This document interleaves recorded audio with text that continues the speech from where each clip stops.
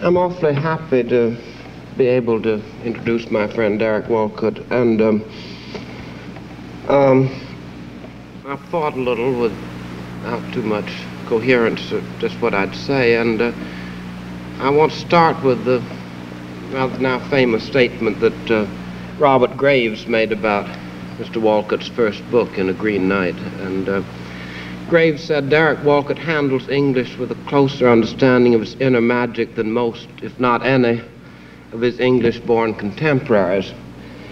Well, uh, Graves, nobody knows more, I suppose, about the inner magic of English than Graves, and uh, few people hand out fewer bouquets to other poets than Robert Graves. That, so that's a great distinction, and it's said with authority. And um, um, I think the first thing to emphasize about Walcott is that he's a very good poet. And um, he'd stand up against any other poet, I think, in England or America of his age. And um, then um, one has to say what kind of poetry it is. And um, it's a poetry of great resonance and color. It's gone through several phases. Um, he's not like the typical British poet, I think, at all, that, uh, or even the typical American of our time. It's, it's, uh, it's a more powerful kind of poetry. It makes me think more of Hart Crane, that it has um, a great deal of that color and vehemence, though uh, it's not, I don't think, influenced by Crane. And um, um, I think a poet is lucky who was born in Trinidad, probably.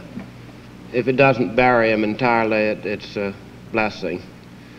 And um, it's quite different than um, uh, being born in New York or perhaps anywhere in this country, that um, an island uh, half made up of Negroes, half of people from India, that's part of the British Empire, whose culture is British, is much closer to England than we are. In this um, Caribbean Sea that's largely Spanish. And um, when the Trinidad uh, writer looks back, um, he sees a past that's part of our past, but it's, um, um, it's, it's, full of um, the Spanish conquests, galleons, Robinson Crusoe, people marooned. Um, sort of world Conrad writes about. And um, um, it has the lovely advantage of being both sort of more local than most things we have in America and more part of what most of the world is like. A Trinidad poet would be more like a South American poet and perhaps more like a French poet than an American could be. Um, um, I'm not making a comparison, but I think of Faulkner that um, um, it would have seemed maybe 10 years ago that uh, compared with Thomas Mann or even Gide, Faulkner was quite as talented a writer, but a more provincial one, that he came from Mississippi and that limited him. And um, uh, now, as times unrolled, uh, Faulkner's subject, Mississippi, seems at the center of things, and his greater subject is uh, the Magic Mountain, say. These things are mysterious, they shift. And uh, Trinidad is both on center and off center. Um,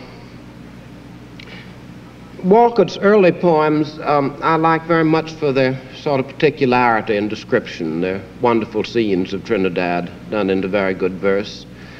And um, when I first met him several years ago, he was going into a new style which I'll say distressed me at the time, that was much more abstract and uh, more like uh, Rene Char or Léger. And uh, I've now come to think that the later poems are much are a great advance.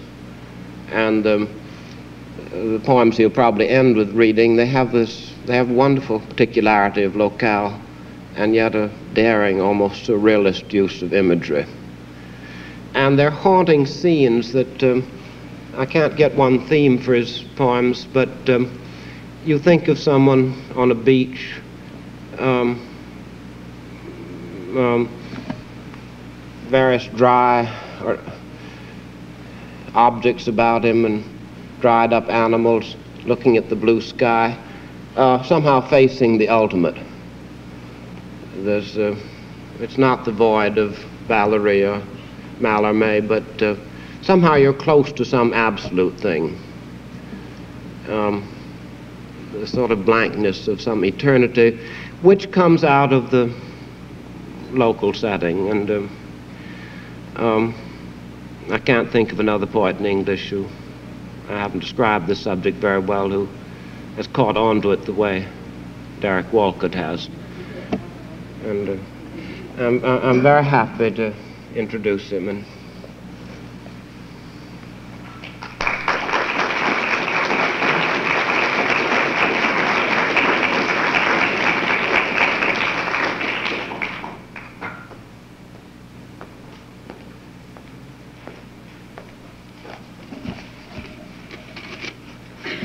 Um, I must thank Mr. Lowell for his very kind, very generous introduction.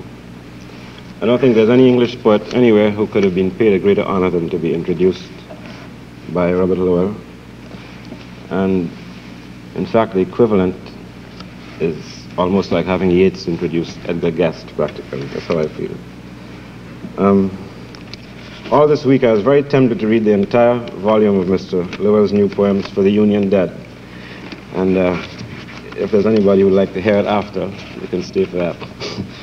um, I don't. Everything that I seem to do here, of course, is completely rehearsed. I've been practicing this all afternoon, so the casualness is entirely false.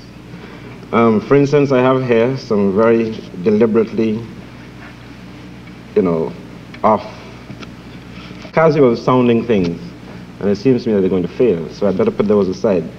Um, I'd like to begin by reading the first poem in the volume that Farrar Straus have put out, Farrar Straus and Giroux have put out. Um, this is a poem called A Far Cry from Africa. And um, I like to begin with it because to me it sort of crystallizes a problem that the West Indian faces, whether it's cultural or historical, and that is his experience, a schizophrenic thing of whether where his um, exactly where his fidelities lie, and there are moments of crisis, either of personal experience or of historical experience, in which we as West Indians have to make some sort of choice. Um, in a sense, the choice can become artificial. For instance, I don't, I don't want to go on about this, but the concept of negritude for us, in a way, I would say, is an alien one because um, we are brought up in an English tradition. We are brought up in a tradition in which the law is an abstract thing. It's maybe hard to explain, but for instance, a policeman in the West Indies is a Negro and not a white policeman. Um, in that sense, people of my generation are used to thinking of the law as something which functions quite distinctly from race. And in that way, I would say that the same thing applies to literature, that one doesn't think of oneself in the West Indies as a Negro or as an Indian writer particularly, but as a West Indian. In that way, I think that um, what Robert Lowell was saying earlier is something that makes one lucky to be born and to grow up in that area. Um, well, in this particular poem, I may talk about this a little later, if any other poem um, illustrates this. In this particular poem, the, the choice, the dilemma here, was the experience of the Mau Mau rebellion, in which, as you know probably, there was an enormous amount of cruelty um, and reprisal in, this, in Kenya. Um, and I found myself, like a lot of students at that time, and this is a poem that came out of argument, discussion between students about, um, you know, who was right at whatever cost, stuff like that. And I suppose, like most, most poets, I am incapable of seeing um, the justification of any form of cruelty, particularly if it's immediate. You can't see the necessity of anything and to accept um, what is criminal or cruel as historical necessity is something that's very difficult for a poet to do. In that way, they are useless, I suppose, to any ideology or society. However, this is um, probably much better than the poem, what I've just said.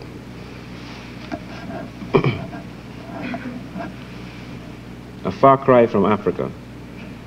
And the, the, title of the poem is ambiguous. It's supposed to mean a cry of torture and also a cry of distance. A wind is ruffling the tawny pelt of Africa. Kikuyu, quick as flies, batten upon the bloodstreams of the veldt. Corpses are scattered through a paradise. Only the worm, kernel of carrion, cries, Waste no compassion on these separate dead. Statistics justify and scholars seize the salience of colonial policy. What is that to the white child hacked in bed, to savages expendable as Jews?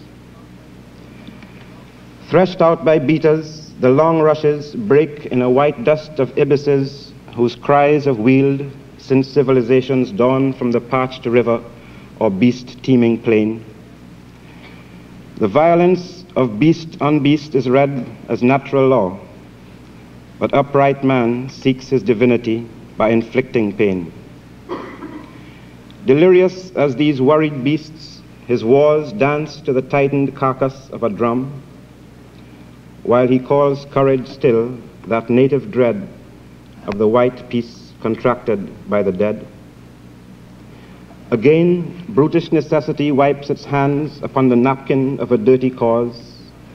Again, a waste of our compassion, as with Spain the gorilla wrestles with the superman. I who am poisoned with the blood of both, where shall I turn, divided to the vein? I who have cursed the drunken officer of British rule, how choose between this Africa and the English tongue I love? Betray them both or give back what they give? How can I face such slaughter and be cool? How can I turn from Africa and live?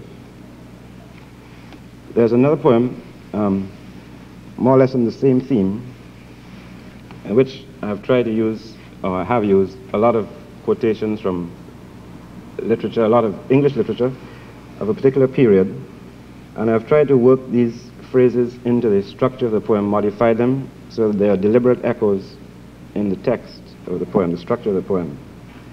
Um, to me now, something important has happened outside the poem in that the poem has become dated for people who are ex-colonial. In other words, to me, the poem represents a particular phase of island history. Um, it may be absurd to sound not sentimental, but to sound uh, neither not sentimental nor forgiving about the idea of the British Empire. But now that the empire as such has um, dissolved and it has been replaced by the idea of the Commonwealth. Um, I don't think it's purely a question of sentiment or attachment, but I think that the Commonwealth exists as a very powerful um, connecting thing. I don't want to be known as the Kipling of the Commonwealth or anything like that, but I believe that there is something purely a question of language and a question of feeling that joins a lot of English poets together simply because I think um, English is a language that we work in, work, you know, work, working in common. Um, this poem just describes the ruins of a house in Jamaica, and it's, uh, it relates to the time of the conquest and the exploitation and so on of the English adventurers.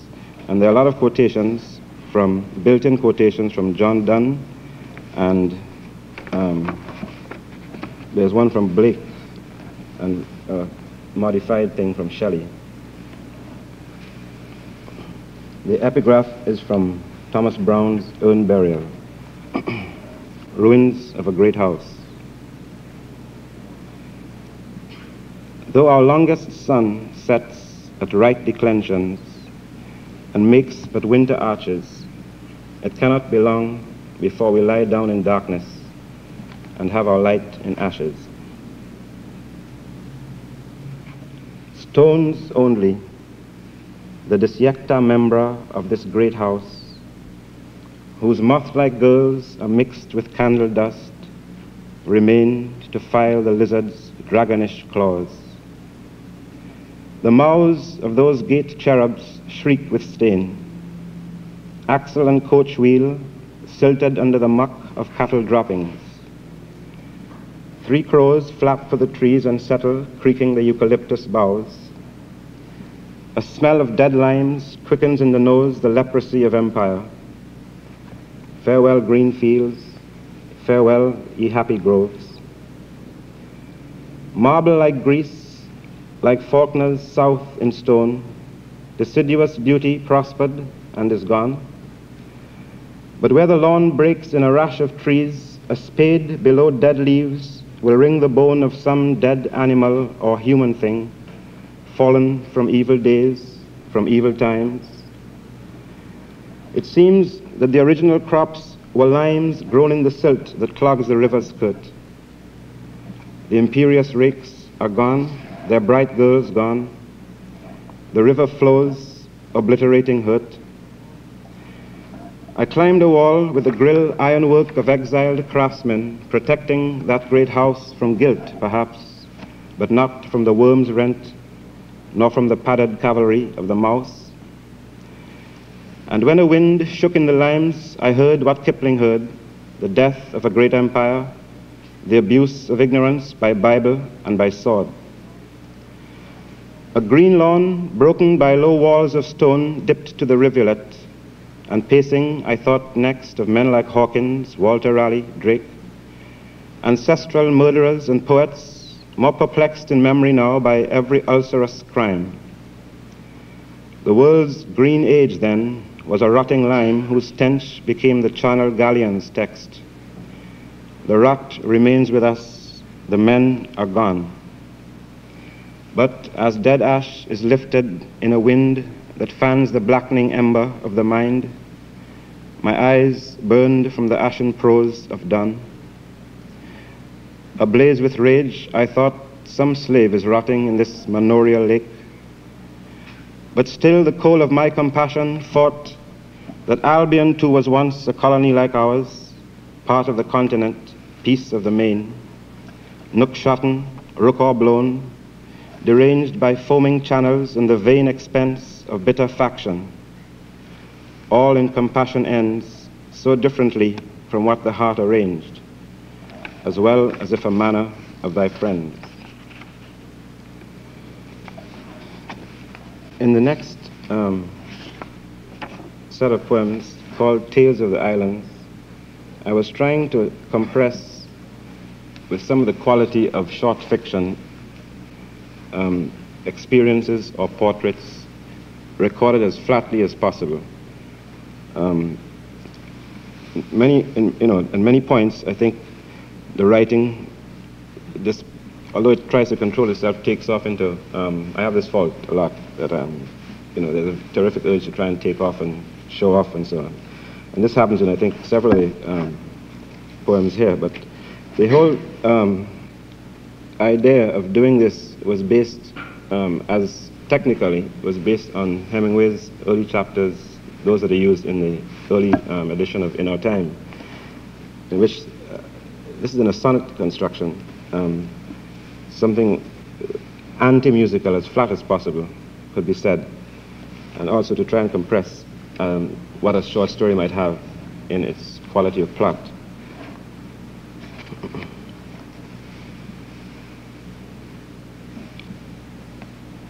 There's a very, it's very uh, effectively titled because I call each sonnet a chapter, but this must be, this was a direct imitation of using the Hemingway thing. Chapter 1. The marl white road, the dory rushing cool through gorges of green cedars, like the sound of infant voices from the mission school, like leaves, like dim seas in the mind. You see, Choiseul. The stone cathedral echoes like a well, or as a sunken sea cave carved in sand. Touring its Via Dolorosa, I tried to keep that chill flesh from my memory when I found a Santa Teresa in her nest of light. The skirts of fluttered bronze, the uplifted hand, the cherub, shaft upraised, parting her breast, teach our philosophy the strength to reach above the navel. Black bodies, wet with light, roll in the spray as I stroll up the beach. Cosimo de Chrétien managed a boarding house. His mama managed him. Number 13, Rue Saint Louis, it had a court with rails, a parrot, a curio shop where you saw black dolls, and an old French barkentine anchored in glass. Upstairs, the family sword, the rusting icon of a withered race, like the first angels, kept its pride of place, reminding the bald count to keep his word, never to bring the lineage to disgrace. Devouring time, which blunts the lion's claws, kept Cosimo, Count of Curios, fairly chaste, for mamma's sake, for hair oil and for whist, peering from balconies for his tragic twist. This is just an old lady I knew. This book seems to be full of old ladies. Miss Rossignol lived in the lazaretto for Roman Catholic crones. She had white skin, and underneath it, fine, old fashioned bones. She flew like bats to Vespers every twilight, the living Magdalene of Donatello. And tipsy as a bottle when she stalked on stilted legs to fetch the morning milk, in a black shawl harnessed by rusty brooches. My mother warned us how that flesh knew silk, coursing a green estate in gilded coaches, while Miss Rossignol in the cathedral loft sang to her one dead child, a tattered saint whose pride had paupered beauty to this witch who was so fine once, whose hands were so soft. The other poem is an attempt to um, use a dialect in a sonnet um, shape. The content of it is mixed artificial and real in the sense that um, there was, in the island where I'm born, up to when I lived there, which is not, um, well, even as, as, a, as, a, child, as a young man growing up, there's still a terrific amount of superstition, um, what you would know, what you might call voodoo, but it's Obi and stuff like that. And there are points when um, people who tire of the patience and the deliberateness of the Christian religion and get a little tired, decide, well, you know, this is taking a long time, heaven can wait, and they go and find, if, and this includes middle class people and other people, and consult Gardez, voodoo men, stuff like that. Um, well, in this particular poem, there's a false character invented here who is supposed to be a native a writer who has gone away and returned with certain affectation, affectations and, you know, using certain in words and stuff like that. Um, but the bottom part of the poem, towards the end of it, is based on a real um, fact that happened, a terrible thing that happened once in St. Lucia. And this is that um, probably in the 30s or 40s, uh, late 30s, um, two people murdered a child um, to get some money, and a boy, and this meant that they killed him and while he was still, while his body was still warm, um, took his heart out and stuff. Well, this um, you know, this is not invented. I wouldn't have the imagination to do that. and this um, came out of a one of those wild West Indian parties that you get, you know, these happen. Um, and while the writer is talking, his wife, who probably would be English, is being unfaithful somewhere along the beach at a, um, say, a beach club fete. I don't know if this is going to mean anything, but i will have to read very fast, sort of. Pupada was a fete. I mean, it had free rum, free whiskey, and some fellas beating pan from one of them band in Trinidad. And everywhere you turn was people eating and drinking, and don't name me, but I think they catch his wife with two tests up the beach, while he drunk quoting Shelley with each generation has its angst, but we has none. And wouldn't let a comma in, edgewise. Black writer chap, one of them Oxbridge guys. And it was round this part once that the heart of a young child was torn from it alive by two practitioners of native art. But that was long before this jump and jive. That went very fast, didn't it? Too fast. And here's another um, dealing also with the superstition thing. The character in this one is a merchant who is a lugau, a, a werewolf. Now he's, he goes around, this is not a real person either, although it is a mixture of rumor about someone. Um, and he goes around town limping, and people are afraid of him because they believe that um, he was a werewolf and he achieved his success as a merchant because he had made this compact with the devil. A curious tale that threaded through the town, through graying women sewing under eaves, was how his greed had brought old Lebrun down, greeted by slowly shutting jalousies when he approached them in white linen suit, pink glasses, cock hat, and tap-tapping cane, a dying man licensed to sell sick fruit, ruined by fiends with whom he'd made a bargain. It seems one night these Christian witches said he changed himself to an Alsatian hound, a slavering lycanthrope hot in a scent. But his own watchman dealt the thing a wound which howled and lugged its entrails, trailing wet with blood, back to its doorstep, almost dead.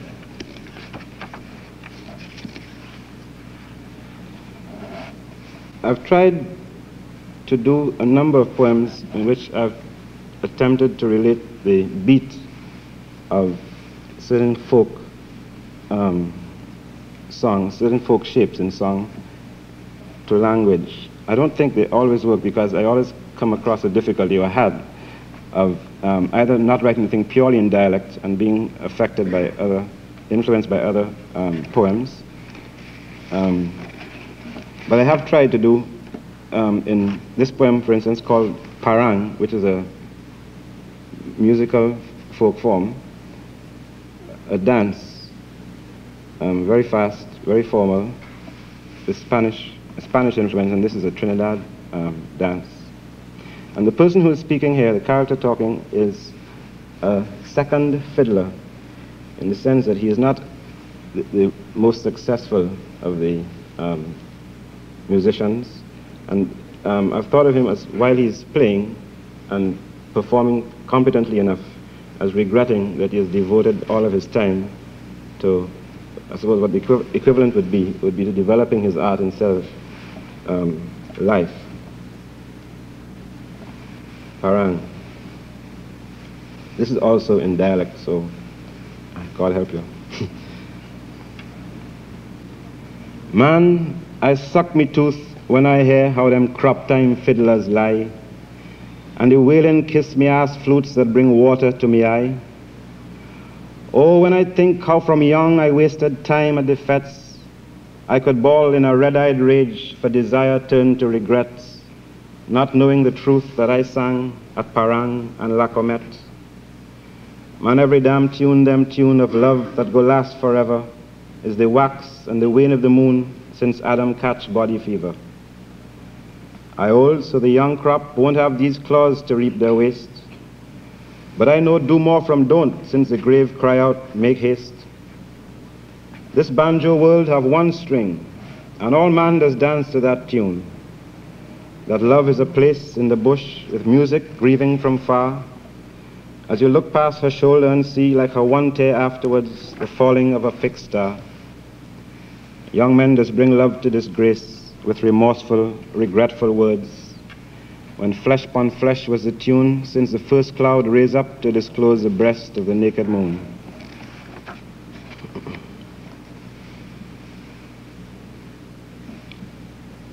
Um, this is just a, I think, a self-explanatory poem. A lesson for this Sunday. The growing idleness of summer grass, with its frail kites of furious butterflies, requests the lemonade of simple praise, in scansion gentler than my hammock swings, and rituals no more upsetting than a black maid shaking linen as she sings the plain notes of some Protestant hosanna, since I lie idling from the thought in things, or so they should, until I hear the cries of two small children hunting yellow wings, who break my Sabbath with the thought of sin. Brother and sister with a common pin, frowning like serious lepidopterists. The little surgeon pierces the thin eyes. Crouched on plump haunches, as a mantis preys, she shrieks to eviscerate its abdomen. The lesson is the same. The maid removes both prodigies from their interest in science. The girl in lemon frock begins to scream as the maimed, teetering thing attempts its flight. She is herself a thing of summery light, frail as a flower in this blue August air, not marked for some late grief that cannot speak. The mind swings inward on itself in fear, swayed towards nausea from each normal sign, heredity of cruelty everywhere, and everywhere the frocks of summer torn, the long look back to see where choice is born as summer grass sways to the sight's design. The next poem is um, something I've always, I had always felt like doing, which is just a purely, um, I suppose just a poem of praise, and that's all. Um, just it's a description of a yacht at harbor on a Sunday morning in the West Indies a sea shanty. Anguilla, Adina, Antigua, Canel, Andreuille all the L's, Voyelles of the liquid Antilles. The names tremble like needles of anchored frigates, yachts tranquil as lilies in ports of calm coral, the lithe ebony hulls of straight stitching schooners, the needles of their masts that thread archipelagos, refracted embroidery in feverish waters of the seafarers' islands. Their shorn, leaning palms, shaft of Odysseus, cyclopic volcanoes, creak their own histories in the peace of green anchorage. Flight and Phyllis returned from the Grenadines. Names entered this Sabbath in the port clerk's register. Their baptismal names the sea's liquid letters and their blazing cargoes of charcoal and oranges quiet the fury of their ropes. Daybreak is breaking on the green chrome water. The white herons of yachts are at Sabbath communion. The histories of schooners are murmured in coral, their cargoes of sponges on sand spits of islets barks white as white salt of acrid St. Martin, hulls crusted with barnacles, holds foul with great turtles, whose ship boys have seen the blue heave of Leviathan, a seafaring, Christian, and intrepid people. Now an apprentice washes his cheeks with salt water and sunlight. In the middle of the harbor, a fish breaks the Sabbath with a silvery leap. The scales fall from him in a tinkle of church bells. The town streets are orange with the weak ripened sunlight. Balanced on the bowsprit, a young sailor is playing his grandfather's shanty on a trembling mouth organ. The music curls, dwindling like smoke from blue gullies to dissolve near the mountains. The music uncurls with the soft vowels of inlets, the christening of vessels, the titles of portages the colors of sea grapes, the tartness of sea almonds, the alphabet of church bells, the peace of white horses, the pastures of ports, the litany of islands, the rosary of archipelagos, Anguilla, Antigua, Virgin of Guadeloupe, and stone white Grenada of sunlight and pigeons, the Amen of calm waters, the are men of calm waters. The are men of calm waters. Collection will now be received.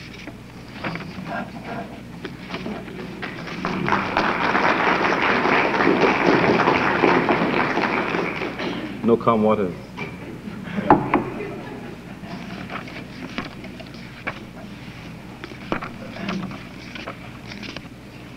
Um, but these were parts of a first book. Um, I found as a writer I got through, a, I had a very difficult um, time trying to change. Um, I got tired, as pro- you probably are, the, as American writers and people who are interested in of the strict traditional thing. Um, I still I, I, find this I find that to go back to the I can't change um, my feel for the more traditional forms, but I, one is always interested in trying to break up things as much as um, you can. Um, the poem that I'm going to read is longish, so um, you know. But I, I, don't I don't know if it's if it's um, if it comes off. But I think it's for me it's important in the sense that I was trying to get over something, to cross over a part of um, my work, to get into another side. Um, its title is Origins, and it's very strongly influenced deliberately by choice um, by the work of Perse and Césaire, um, to whom I feel a very strong affinity just because um, they're all from the same part of the world. Uh, Perse is born in Guadeloupe, and Césaire is a Martinican. Um, there are two really great poems from that area, and um, they both more or less deal with the same theme. They're interesting to compare in the sense that Perse is a, is a um, son of a plantocracy, a rich white um, Guadeloupean, and Césaire is the son of a poor black um, Martinican family. Um, this is not, it's only important for the context of the poem because the two poems have the same strength, the same beauty almost, um, and they really are something that, you know, I am very proud of myself because it's amazing to think that um, within such a short distance of each other and within the same time, two great poems like that could have come out. Um, I was also trying in this to lengthen the line um, and to try to compress, to give meaning entirely through the visible, through the image only. Um, again, there are parts where it sort of flops or inflates itself into rhetoric, and then I didn't want to have a, the sort of poem in which you have um, cuts, sudden jumps. I try to give some kind of order, uh, rational order, to the changes of the images. Um, in other words, I, what I was trying to do, I don't know, this must be very boring, but I was trying to avoid um, the sudden cuts you get, say, in Pound or in some of the modern, other modern American poets, in which the reader is supposed to fill in um, those changes. Uh, also, it is a very ambitious poem in the sense that it tries to um, cohere all the experiences, the cultural and racial experiences of what the West Indian is, which involves um, the exodus from Africa um, and finding a new country and stuff like that. And the epigraph is from Césaire, and I just have the English, not the French, and it's narrow path of the surge in the blur of fables. I chose the epigraph because it seemed to me to have this particular um, picture after, which is something threading like a current Africa and the New World. Origins. Um, in the poem, sorry, there are a lot of references that you might find uh, obscure. At the beginning, there are references to the Caribs, which is a race that was ex entirely exterminated by people who occupied the West Indies, much like the Indians here almost. Um, and then different passages have tried to relate as a boy growing up what, you, what one learns as a um, colonial, the conflict between, or the barely beginning to be realized conflict between um, Greek history, Greek literature, Western literature, and Africa. Um, and in the poem too, the, the two symbols that are used, the word, sorry, symbols, but they're there.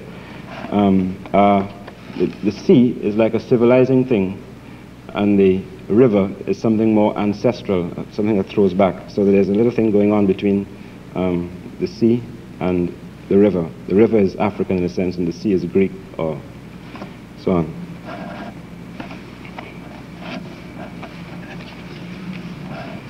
Origin. The flowering breaker detonates its surf. White bees hiss in the coral skull. Nameless, I came among olives of algae, fetus of plankton. I remember nothing.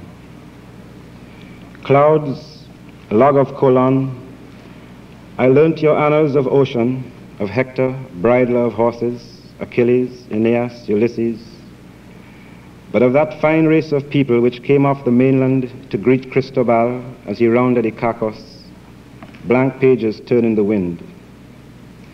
They possessed, by Bullbrook, no knowledge whatever of metals, not even of gold. They recognized the seasons, the first risings of the Pleiades, by which signs they cultivate, assisted by magic. Primitive minds cannot grasp infinity. Nuage, nuage in lazy volumes rolled, swallowed in the surf of changing cumulus, their skulls of crackling shells crunched underfoot. Now, when the mind would pierce infinity, a gap in history closes like a cloud.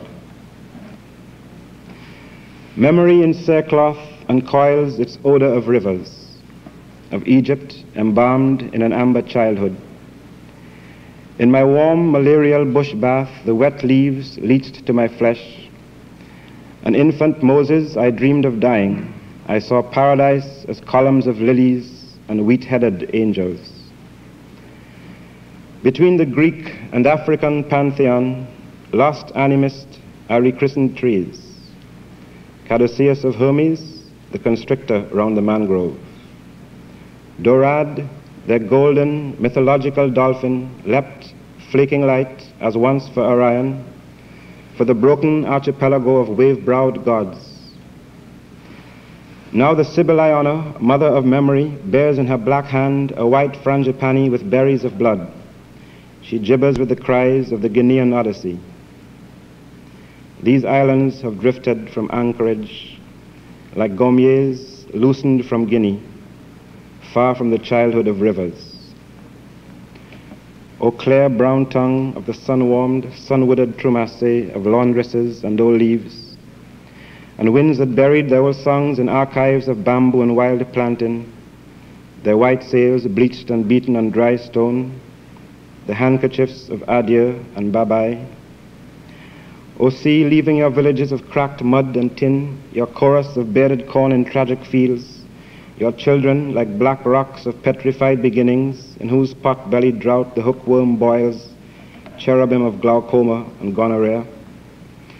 White cemeteries of shells beside the sea's cracked cobalt, poinsettia bleeding at your praying stations, shadowy with croton and with glory cedar whose gods of cracked canoes hold the dead hopes of larvae, live middens heaped by the infecting river, fetes of a childhood brain sieved with sea noise and river murmur.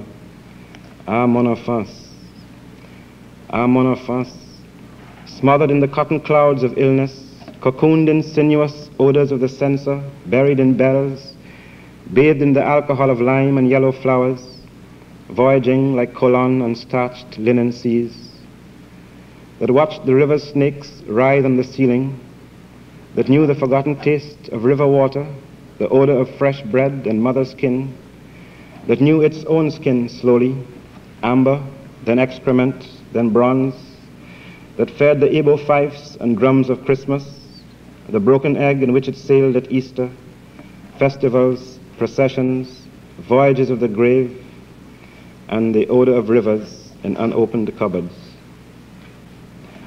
trace of our exodus across its desert erased by the salt winds. The snake spirit dies, writhing horizon. Beetles lift the dead elephant into the jaws of the forest. Death of all gods in the ashes of their eyes. The plunging throats of porpoises simulating, O sea, the retching hulks of caravels stitching two worlds, like the whir of my mother's machine in a Sabbath bedroom, like needles of cicadas stitching the afternoon's shroud. Death of old gods in the river snakes dried from the ceiling. Yahweh and Zeus rise from the foam's bed at daybreak. The mind among Sirach seeks its mythopoeic coast, seeks, like the polyp, to take root in itself. Here, in the rattle of receding shoal, among these shallows, I seek my own name and a man. As the crab's claws move backwards through the surf, blind memory grips the putrefying flesh. Was it not then we asked for a new song, as Colon's vision gripped the buried branch? For the names of bees in the surf of white frangipani, with hard teeth breaking the bitter almonds of consonants, shaping new labials to the curl of the wave, christening the pomegranate with a careful tongue, pomme de Cythère, bitter Cytherean apple, and God's eye glazed by an indifferent blue. We have learnt the alphabet of alkali and aloe on seeds of islands dispersed by the winds. We have washed out with salt the sweet, faded savor of rivers, and in the honeycombs of skulls the bees built a new song, and we have eaten of their bitter olive. But now, twin souls, spirit of river, spirit of sea, turn from the long interior rivers, their somnolence, brown studies, their long colonial languor, their old Egyptian sickness, their imitation of tea color, their tongues that lick the feet of Bwana and Sahib, their rage for funeral pyres of children's flesh, their sinuousness that shaped the original snake. The surf has raised that memory from our speech, and a single raindrop irrigates the tongue.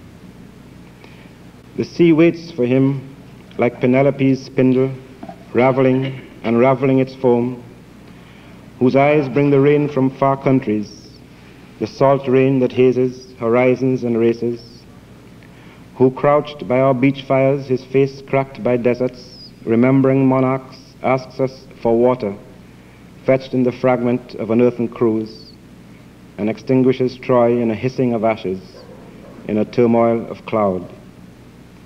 Clouds, vigorous exhalations of wet earth, in men and in beasts the nostrils exulting in rain scent, uncoiling like mist the wound of the jungle.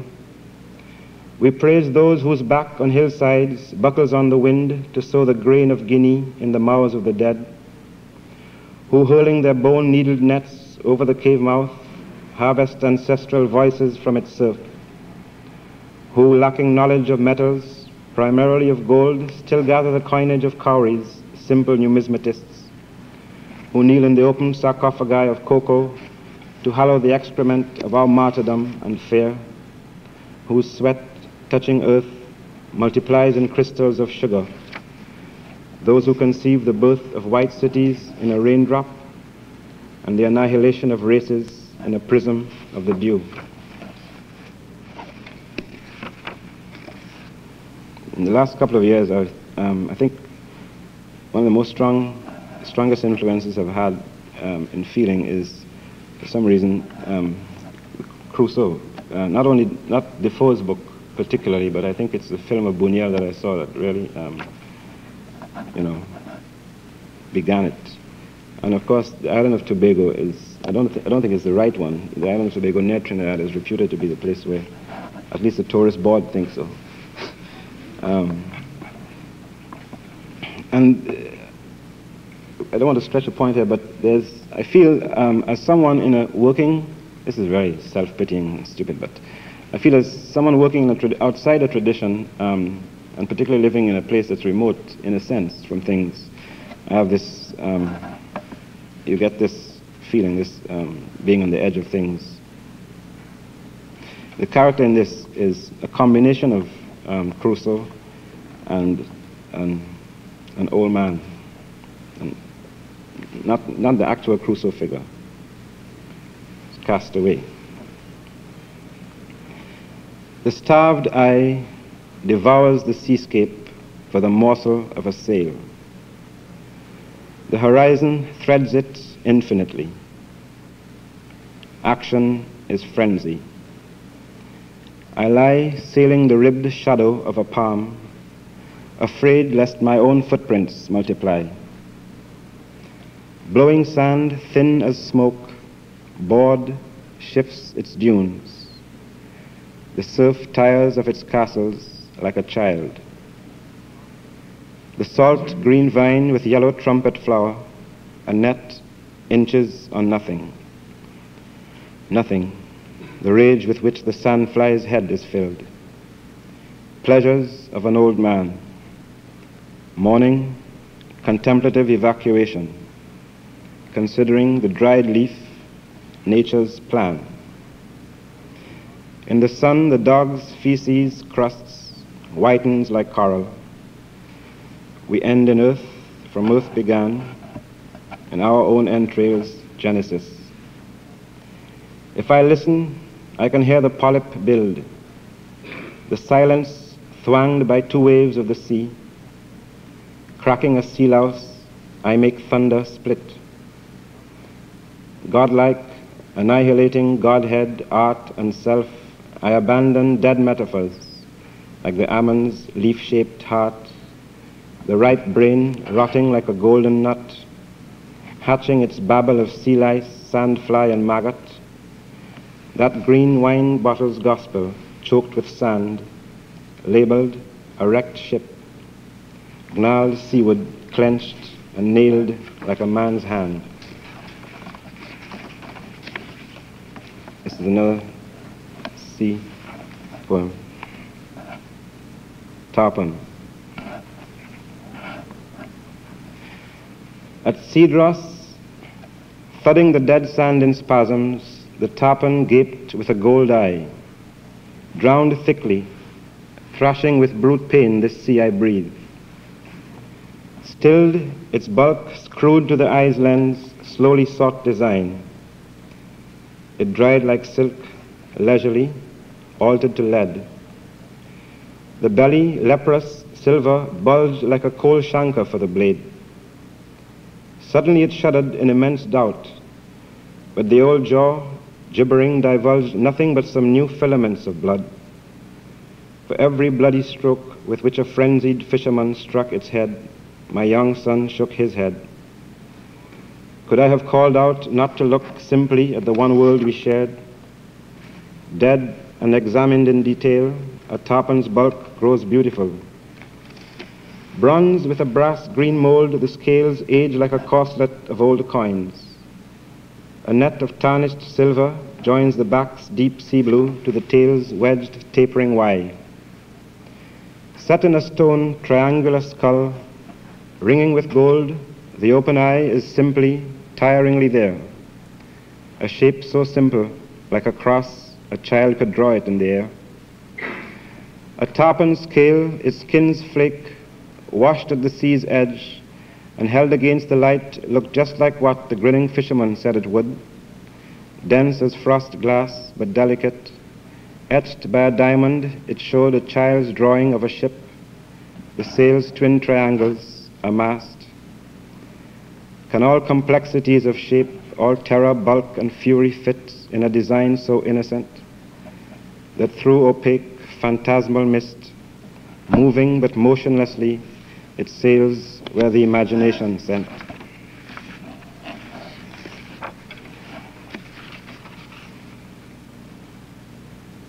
Um, I've, I have no idea what time it is. I don't know. I should, um, I'll just read two or three more.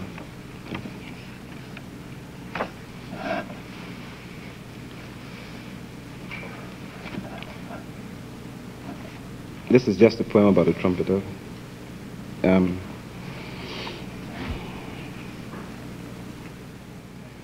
old Eddie's face, wrinkled with river lights, looked like a Mississippi man's.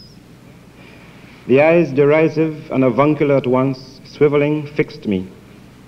They'd seen too many wakes, too many cat house nights.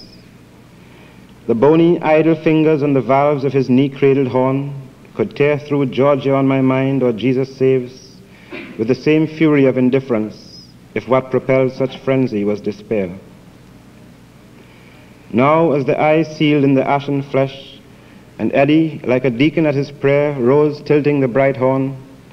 I saw a flash of gulls and pigeons from the dunes of coal near my grandmother's barracks on the wharves.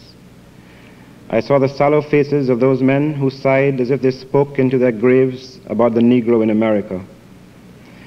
That was when the Sunday comics sprawled out on her floor, sent from the States, had a particular odor, a smell of money mingled with man's sweat. And yet, if Eddie's features held our fate, secure in childhood, I did not know then a Jesus ragtime or gut bucket blues to the bowed heads of lean, compliant men back from the States in their funereal surge, black, rusty Homburgs and limp waiters' ties, with honey accents and lard colored eyes, was Joshua's ram's horn wailing for the Jews of patient bitterness or bitter siege. Now it was that as Eddie turned his back on our young crowd out fetting, swilling liquor, and Blue, eyes closed, one foot up, out to sea, his horn aimed at those cities of the Gulf, Mobile and Galveston, and sweetly meted the horn of plenty through a bitter cup, in lonely exaltation, blaming me for all whom race and exile have defeated, for my own uncle in America, that living there I never could look up. Uh, thank you, Reverend.